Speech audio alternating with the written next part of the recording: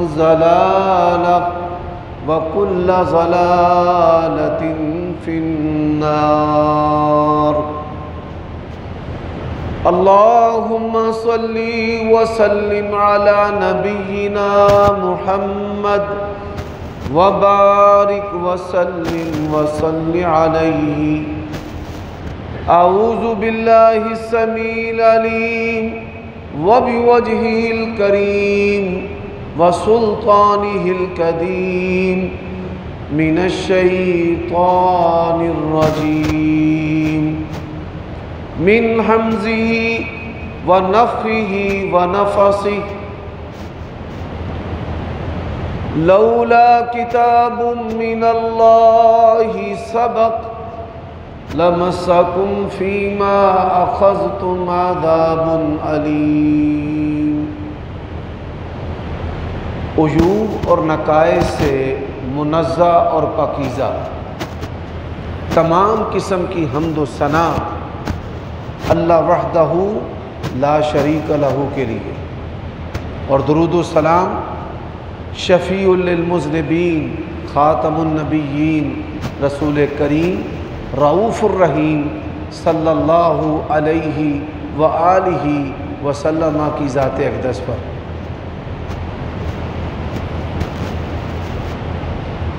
गुज्त खुतब जुमा से सैदना उमर बिन ख़त्ताब रज़ी अल्लाह तह के बारे में इल्म हमत किताब सुन्नत की बातें हो रही हैं। और उनकी सीरत के अंदर हमारे लिए जो इसबाक और नसीहतें, अमली सबक, अल्लाह ताला की तोफीक से मैं उसको भी नुमाया कर रहा हूँ।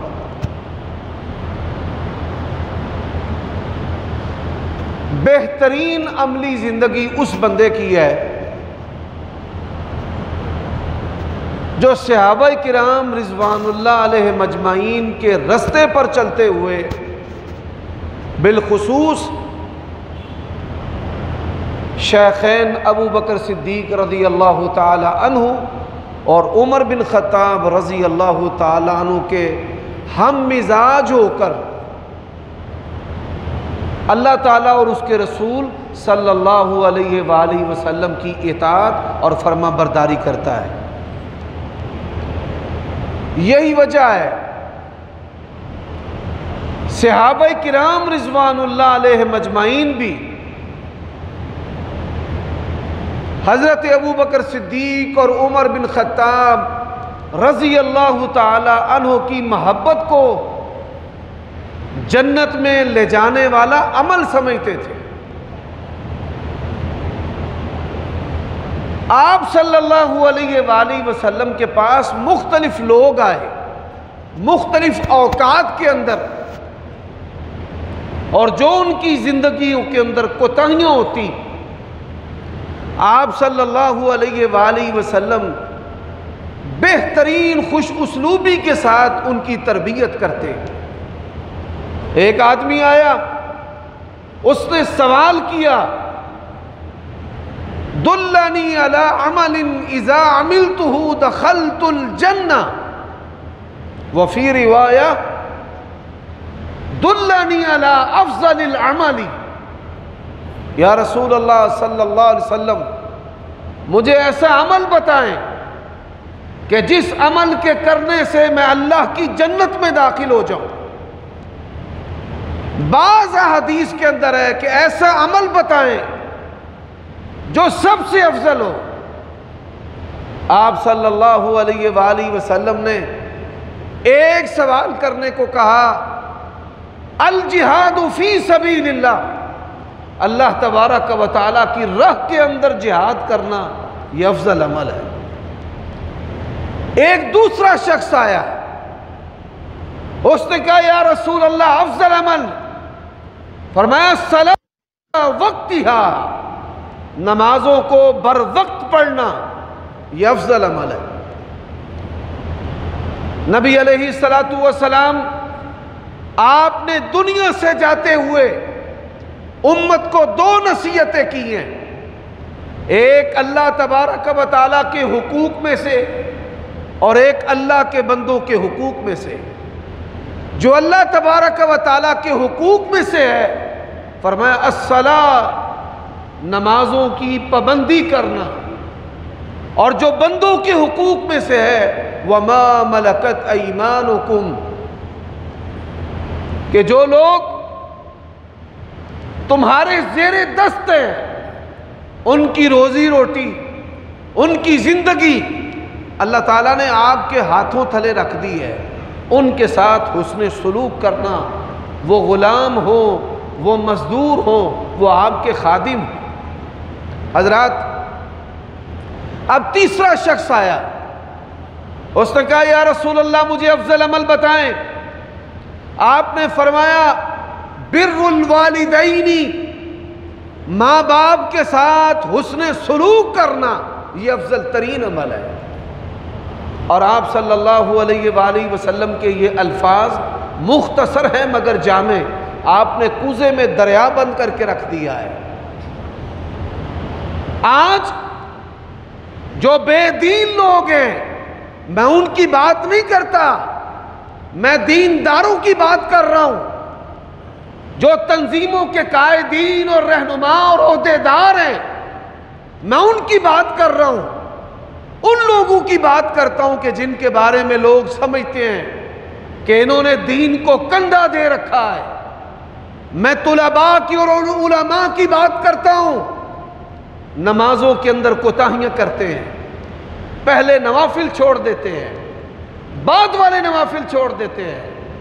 तकबीर उला की परवाह नहीं करते। और हमारे असलाफ के अंदर ऐसे ऐसे बुज़ुर्ग दुनिया से गए हैं कि 40 साल तक कभी पाँचों नमाजों में से किसी एक नमाज़ की भी तकबीर उला उनसे फौत नहीं हुई। और आज हम दीनदार लोग ही नमाजों की परवाह नहीं करते। मेरे भाइयों, दोस्तों, इसी तरह अल्लाह तबारक व ताली की राह के अंदर अपनी जान को पेश करना, ये कोई मामूली बात नहीं है। इस्लाम के लिए वल मुस्तफ़ीन मिनर रिजाली वन निसाई कमज़ोर मुसलमानों के लिए, इलाए कलिमत के लिए कि अल्लाह तबारक व ताली की ज़मीन पर अल्लाह तबारक व ताली का जो निज़ाम है, वो कायम हो जाए। और हम इसके लिए कितनी कोशिश करते हैं? हम अपने बदन पर इस्लाम जो हैं, वो लगाने के लिए तैयार नहीं हैं। और हम चाहते हैं कि पाकिस्तान के अंदर इस्लाम का अमली नफाज हो जाए।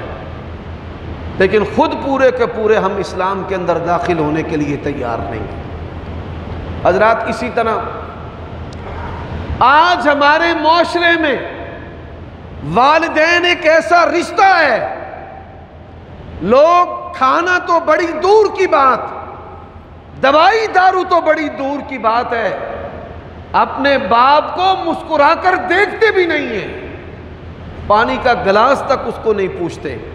हालाँकि नबी सलाम ने फरमाया है, अल्लाह तबारक व ताली ने बरकत जो है, वो तुम्हारे बूढ़ों के साथ रख दी हज़रत, इस तमहीद के सुनाने का मकसद क्या है?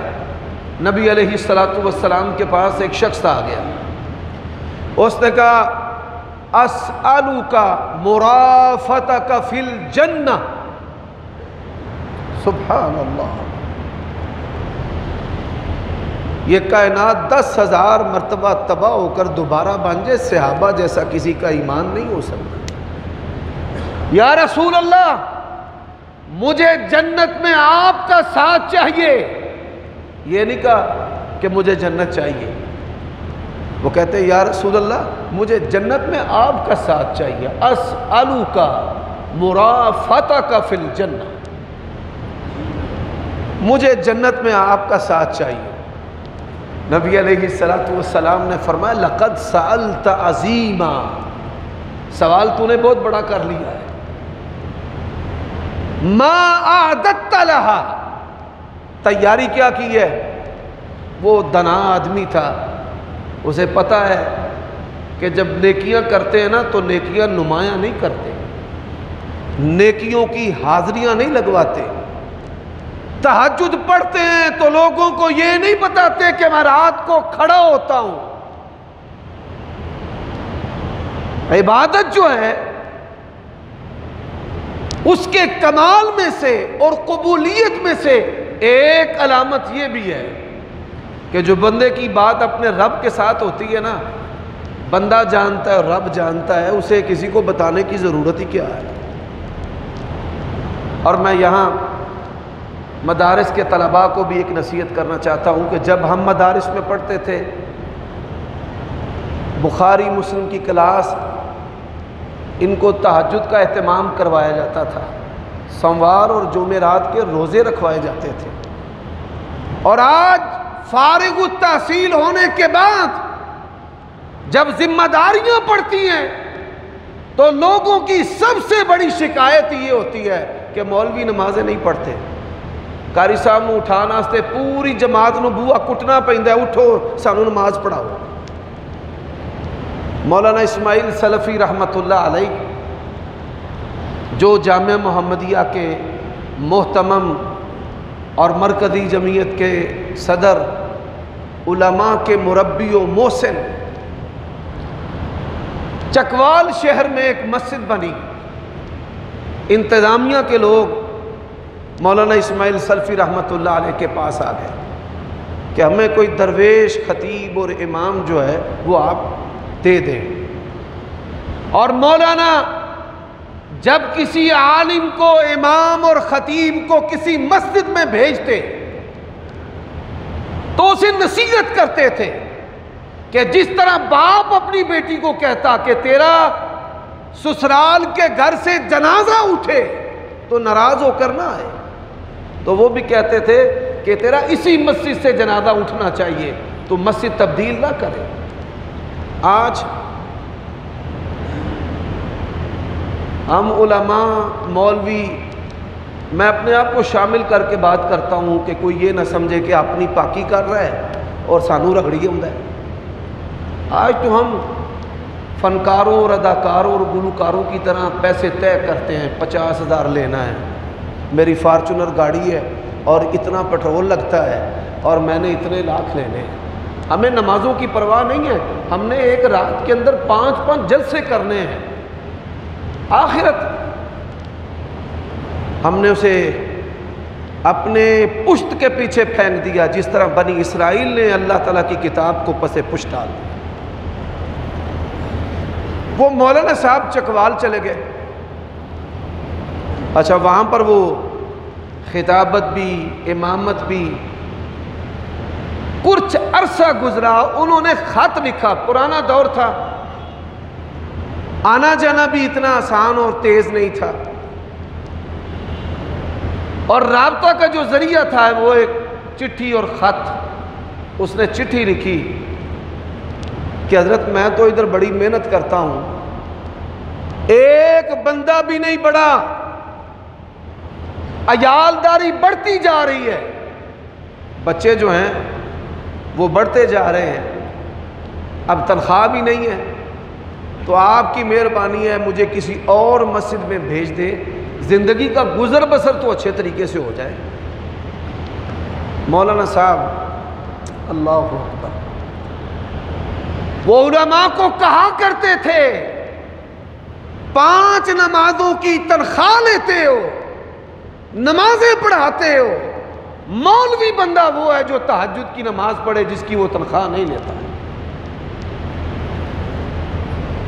तो मेरे भाइयों, दोस्तों, उन्होंने जवाबी ख़त लिखा कि ये जो तूने शिकायत हालात की मुझे की है, क्या कभी तहजद में खड़े होकर अल्लाह से भी ये शिकवा किया है कि मैं मेहनत कर रहा हूँ तो बंदे क्यों नहीं पे बता अल्लाह ने भी कभी क्या ही अल्लाह से भी कह कि मैं मेहनत करता हूँ तो रौनक लगा। ताजुद पड़ा कर। दूसरी नसीहत की, सोने के पानी के साथ लिखे जाने के काबिल। वो क्या है? कि मस्जिद के चंदे को हाथ नहीं लगाना, हालात तेरे पर मुश्किल है। तो मस्जिद का जो चंदा है, वो तू खुद इकट्ठा करना शुरू कर दे या अपने पास रखना शुरू कर दे, खबरदार। इसके साथ अपने हाथ को उलूदा ना करना। हजरात, ये बात याद रखो, इस्लाम की सच्चाई अपने समेत उलमा को नसीहत करता हूँ। किसी मौलवी ने हज़ार लोगों की नज़रों से छुप कर भी मस्जिद का माल खाया है, अल्लाह ताला ने दुनिया के अंदर उसको जरीलो रिश्वा कर दिया। किसी मौलवी ने दस तालों के पीछे भी जिना बदकारी की है। अल्लाह ने उसको भी जलीलो रिश्वा करके रख दिया है। गुनाह छुप कर करके आता है, दुनिया उसको बाहर कहती है, ये जानी और बदकार है। ये इस्लाम की सच्चाई है। ये मिंबर और मुसल्ले, इसका शर्फ है कि कोई बद किरदार इस पर खड़ा नहीं हो पाता, टिक नहीं पाता, रह नहीं पाता। उन्होंने तीसरी नसीहत की। कि लोगों की खुशियों और गमियों के अंदर शामिल हुआ कर।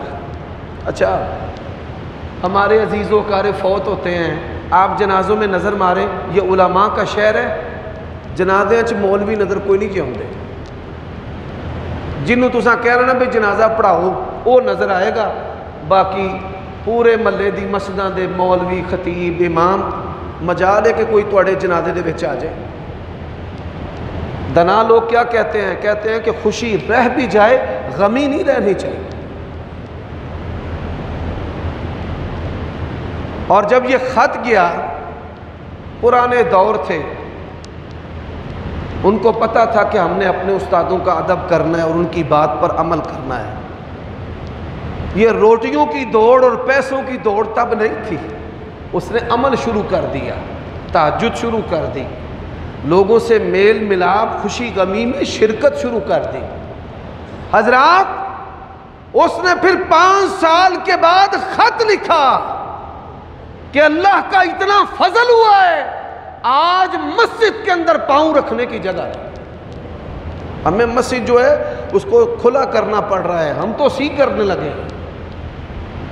तो ये खुलाफा की जो ज़िंदगी सीरत है, ये कोई कानों का चस्का नहीं है, ये अमल का सबक है। अब नबी सलाम के पास एक बंदा आया, कहता है, जी, जन्नत में आपका साथ चाहिए। फरमाया, तैयारी क्या की है? सुबह उसने कहा लई सलीमिन कसरत श्यामी वला मिन कसरत सदका। या रसूल अल्लाह कोई नफली नमाजें नहीं, लंबी चौड़ी। कोई सदका, खिरात नहीं। कोई नफली रोज़े नहीं। जो जो तुम करी आते हो, मैं भी करी आऊँगा लेकिन एक बात है, इन्नी उहिबुल्ला व रसूल। मुझे अल्लाह ताला और उसके रसूल से सच्ची मोहब्बत। हजरात, और ये मोहब्बत कैसी है? एक बंदे ने शराब पी ली, उसको कोड़े लगे।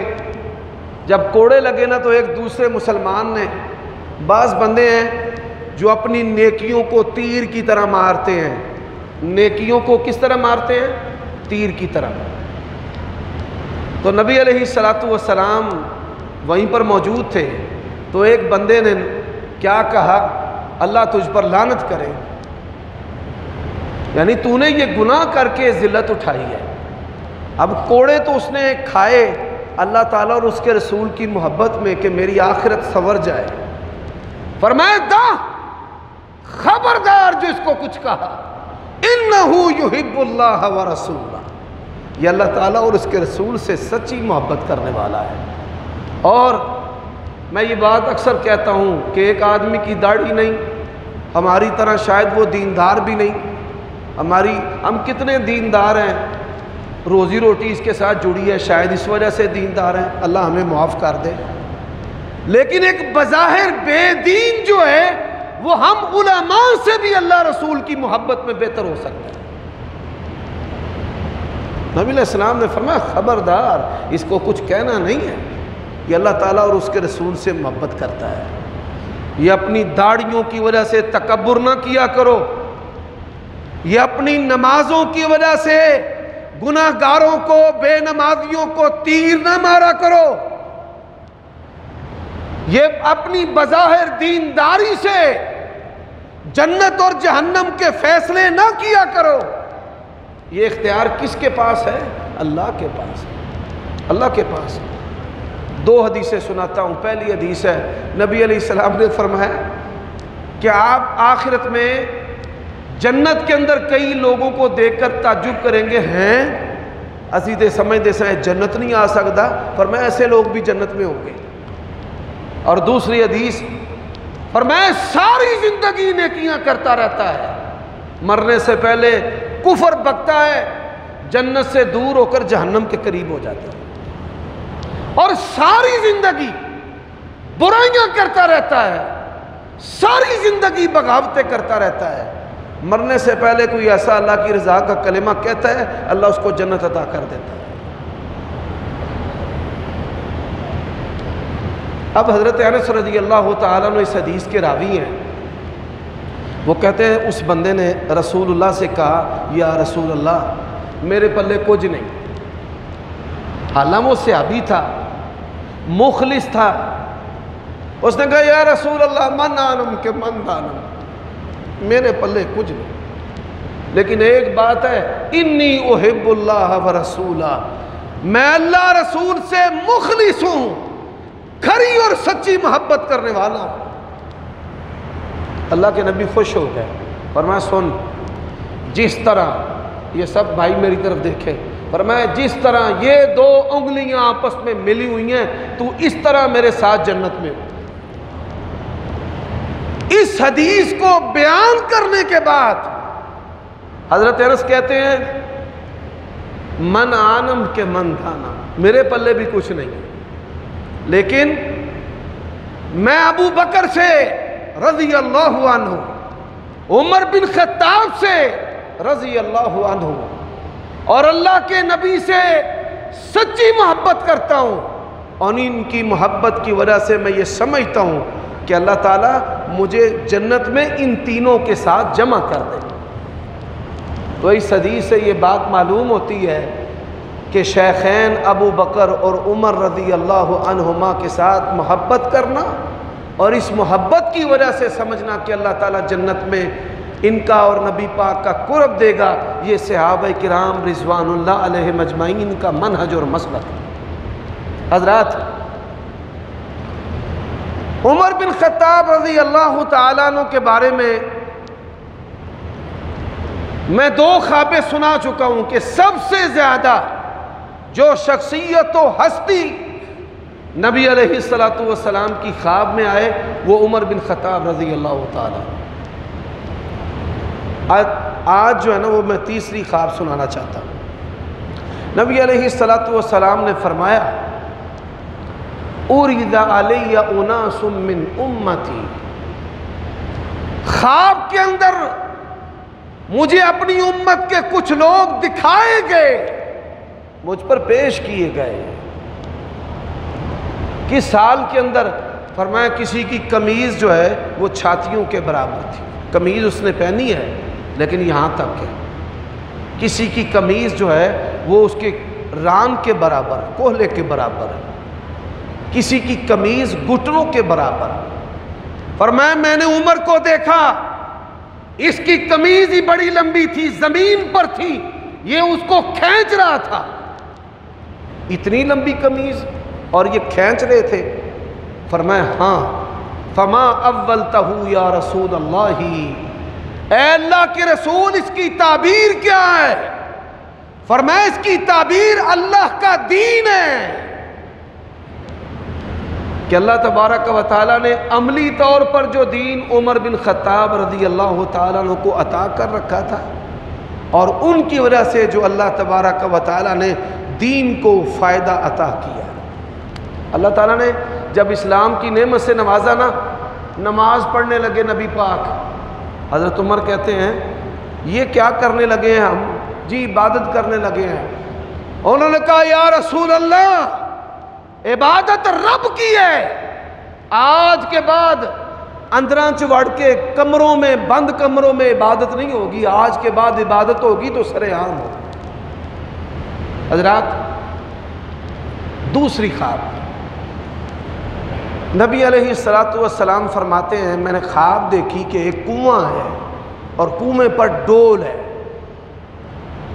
अबू बकर, अल्लाह ताला अबू बकर को मुआफ़ करे। ये अल्फाज रसूलुल्लाह के हैं। पर मैं अबू बकर अबू बकर को अल्लाह ताला मुआफ़ करे। उसने डोल खींचा।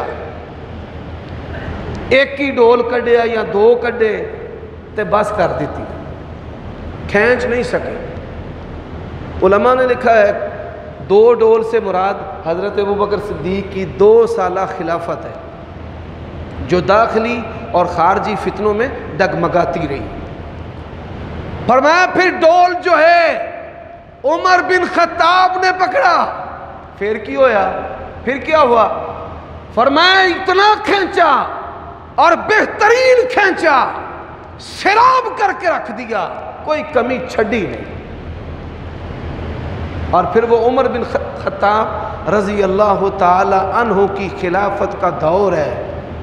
हजरात आज अंग्रेज़ों के निज़ाम को प्रमोट करने वाले और बयान करने वाले इस बात को भूल गए हैं कि उनका आयली और माशरती निज़ाम जो है, सारे का सारा जो है, उनके कवानीन के अंदर भी उमर ला के नाम से मौजूद है।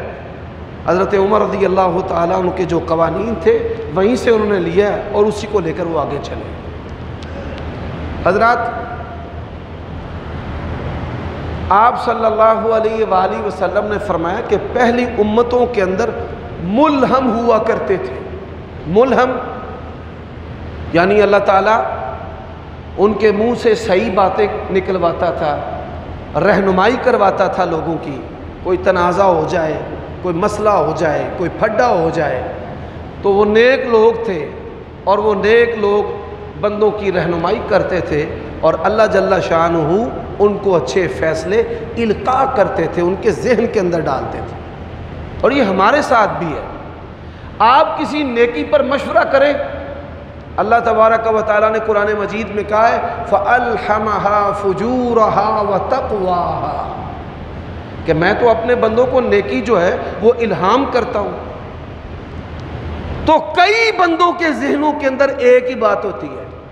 अब एक बंदा बात करता है ना, आंदा, यार ए तो तू मेरे मुँह की गल नहीं लगी दूसरा कहता है, अल्लाह की कसम, मैं भी यही सोच रहा था। यह है कि अल्लाह तबारक व बंदों को नेकी जो है, वो इल्हाम करता है, उनको बताता है, इल्का करता है, उनके दिमागों के अंदर डाल देता है, आसान लफ्ज़ों में। फरिश्तों के ज़रिए अल्लाह ताला जो है, वो अपने बंदों की रहनुमाई करता है। और यहाँ पर एक दुआ भी है। खुशबी नवासीना वह दिना इला सवाई सबीली। आप अपनी ज़ुबान में भी कह सकते हैं कि अल्लाह, हमें पेशानियों से पकड़ कर सिरात मुस्तकीम पर चला। कोई भी मसला हो तो अल्लाह से कहें, या अल्लाह, मुझे पेशानी से पकड़ ले और मेरी रहनुमाई कर। मुझे पेशानी से पकड़ ले और मुझे इस गुनाह से बचा ले। ये अल्फाज सालहीन और नबियों के अल्फाज हैं। तो उमर बिन ख़ताब नबी सलाम ने फरमाया ना, अल्लाह ताला ने अगर मेरी उम्मत के अंदर ये खूबी रखी ना, उमर भी उन्हीं बंदों में है। क्यों उन बंदों में है? हज़रत, जब भी इस्लाम को, मुसलमानों को इंतज़ामी, सियासी, मशावरती रहनुमाई की ज़रूरत हुई तो अल्लाह ताला ने हक हज़रत उमर की ज़ुबान और दिल पर जारी कर दिया। अल्लाह के नबी सलाम ने फरमाया, और जिस रस्ते से शैतान गुजरता है, सारी दुनिया गुजर दी। शैतान दे पीछे पीछे। गुजरते हैं कि नहीं गुजरते? शैतान गुजरता है, दुनिया गुजरती है। लेकिन फरमाया, एक कश्ती ऐसी है कि जिस रास्ते से ये गुजरता है, शैतान भी नहीं गुजरता। वो हस्ती शख्सियत कौन है? वो उमर बिन ख़त्ताब रज़ी अल्लाह मेरे भाइयों, दोस्तों, मैं इसकी दो मिसालें देता हूँ कि अल्लाह जल्ला शाह ने उमर बिन ख़त्ताब रज़ी अल्लाह तु को कैसे साहिब राय बनाया था। उनका एक फ़ैसला था कि अहल किताब की औरतों के साथ निकाह तो जायज़ है। वलमो वलमोसनात मिनल्लजीना ऊतुल किताब। लेकिन निकाह करो ना। क्यों ना करें? भाई माँ जो है, वो पहली उस्तानी है। हमने इनके बाप और भाई काटे हैं जंगों में। ये इस्लाम के खिलाफ अपने बच्चों की तरबियत करेंगे। ना? उनकी ये भी राय थी कि खादिम, गुलाम, रखना जायज़ है, लेकिन किसी गैर मुस्लिम खादिम और ग़ुलाम को ना रखो। ये हमारी जसूसी करेंगे।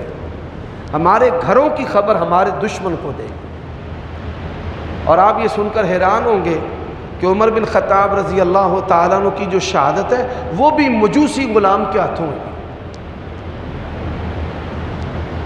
ये उनकी सियासी तदबीर थी। मेरे भाइयों, दोस्तों, आज भी जो हमारे लड़के यहाँ से पढ़ने के लिए जाते हैं, यूरोप के अंदर, अमेरिका, कनाडा के अंदर, वहाँ काफिरा औरतों से शादियाँ करते हैं, रेजिडेंसी के लिए, नेशनैलिटी के लिए, और मुसलमानों के बच्चे हैं, लेकिन कोई यहूदी है, कोई ईसाई है, कोई मुलहद है। और ये वो तदबीर है। हालात हम अब देख रहे हैं। लेकिन अल्लाह ने उनको कैसी बसीरत दी है? चौदह सौ साल पहले उन, उन्होंने उम्मत को सबक और दर्श दिया। अच्छा एक बड़ी मज़ेदारी की बात है।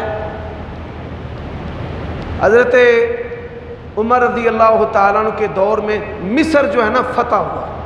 दरियाए दजला दरियाए नील दुआबा सरजमीन, बड़ी गंदम, बड़ी फ़सलें, बड़ी नेमतें, अमलाक की अंबार। हैं अमर बिन आस रज़ी अल्लाह तला हज़रत उमर को ना ख़त लिखा।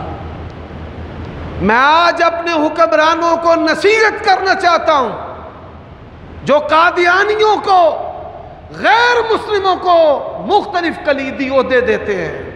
कि हम दुनिया के अंदर लिबरल और रोशन ख्याल समझे जाए। हज़रत उमर की सीरत तुम्हें क्या सबक देती है? अमर बिन आस रज़ी अल्लाह ने ख़त लिखा कि यहाँ पर कोई बंदा पढ़ा लिखा नहीं है अकाउंटेंट नहीं है कोई ए सी ए चार्टर नहीं है कोई वज़ीर ख़जाना नहीं है हिसाब रखे कितने पैसे हैं कितनी फ़सलें हैं। एक बंदा पढ़ा लिखा है, है ईसाई। रख लें। नसरानी है। असी खजानची ही रखना है, केड़ा कोई सदर बनाना है। ईसाई को अपना खजानची रख लें अकाउंटेंट रख लें। हज़रत उमर को ख़त मिले, उन्होंने कहा, लिखो जवाब, वालेकुम सलाम, वरहमतुल्लाहि व बरकातु हाजा मिन उमर इब्न ख़त्ताब अमीर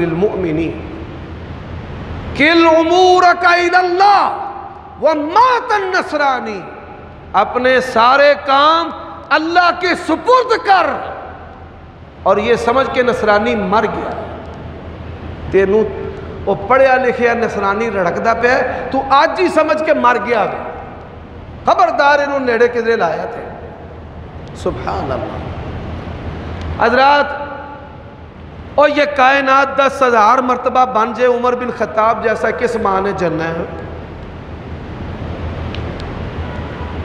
दुनिया के अंदर यूरोशलम ऐसा शहर है इसराइल के अंदर, जिस पर सहूनियों ने कब्ज़ा किया है। ये शहर जो है, इसकी यहूदी, नसरानी और मुसलमान जो हैं, वो बराबर इज़्ज़त करते हैं। मस्जिद अक्सा वहाँ पर है। ईसाइयों के नज़दीक हज़रत ईसा की पैदाइश का वहाँ पर है। और यहूदी, उनका जो हैकल सुलेमानी है, दीवार गिरिया कि जिस दीवार के पास वो खड़े होकर सर हिला हिला कर रोते उसको दीवारें, यानी रोने वाली दीवार, हैकल सुलेमानी भी उधर है। अल्लाह तबारक व ताली की शान, ये जो बैतुलमक़दस की मुहम थी, यानी ये जो लश्कर था, इसकी क्यादत मुख्तलिफ़ सहाबा कराम कर रहे थे। खालिद बिन वलीद भी और बड़े बड़े सहाबा कराम। शहर वालों ने पैगाम भेजा, हमने लड़ना नहीं है।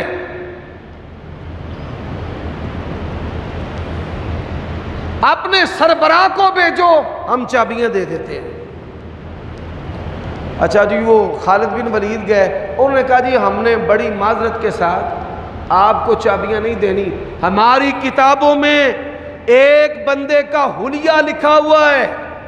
वो हुलिये वाला बंदा आएगा तो हमने चाबियाँ देनी उन्होंने ख़त लिखा अमीरमिन को बड़ी अजीब शर्त है। लड़ते भी नहीं हैं और कहते हैं कि चाबियाँ हमने देनी है कि जिसका हुलिया हमारी किताबों के अंदर लिखा हुआ है। मुख्तलिफ़ जो नेक, जाहिद, आबिद से आबा थे, उनको भेजा। उन्होंने कहा यह भी नहीं है, ये भी नहीं है, ये भी नहीं है। हज़रत तुम्हारा आगे खुद। यहूदो, नसारा ने शहर के बाहर पानी जो है, वो फैला दिया। रेत, मट्टी, कीचड़ बन गया। हज़रत उमर आए। अपनी धोती जड़ी ना, लंगोट, टूंगिया जुत्ती ला के हाथ में फड़ ली। अब साथी क्या कहते हैं जी, इस्लाम की इज़्ज़त का मसला है जी मौलवी ता फ़ैशन करते हैं इस्लाम की इज़्ज़त का मसला है। हज़रत कपड़े बदल लें सवारी बदल लें हालत बदल लें सुबह कहते हैं, अल्लाह ने कपड़ों से इज़्ज़त नहीं दी, मोहम्मद रसूल्ला की गुलामी से इज़्ज़त दी। इस्लाम से इज़्ज़त दी है। नहनु कौम आजन और जब उन्होंने देखा ना, उन्होंने चाबियाँ पेश कर दी और कहा कि इसी शख्सियत की ये हालत हमारी किताबों के अंदर लिखी हुई थी कि चाबियाँ लेगा, जूते उसके हाथ में होंगे और कीचड़ उसके पाँव तले होगा और लंगोट उसने पकड़ा होगा ये लो जी चाबी। हजरात, इतनी अजीम शख्सियत है, सारा साल भर भी उनकी ज़िंदगी के मुख्तलिफ़ पहलू, इल्म हमत सियासी तदब्बर, उनकी रिवायत और दिरायत, उनका इंतज़ाम, उनकी पार्लियामेंट और मुकन्ना और उनकी कानून साजी। हम बयान करते थक जाएँगे। ये वसल्लम और आपके ग़ुलामों की शान है कि पंद्रह सदियों से ये चौदह सौ चवालीस है। पंद्रह सदियों से इनकी इज़्ज़त अजमत बयान हो रही है, लेकिन कोई बंदा भी हक अदा करने का दावा नहीं कर सकता। अल्लाह ताला से दुआ है, अल्लाह ताला जब तक ज़िंदा रखे, इनकी ज़िंदगियों पर चलते हुए, सुन्नत की पैरवी पर ज़िंदा रखे। अकूल कौली हाजा वस्तफ़िर वलकुम वलिसारी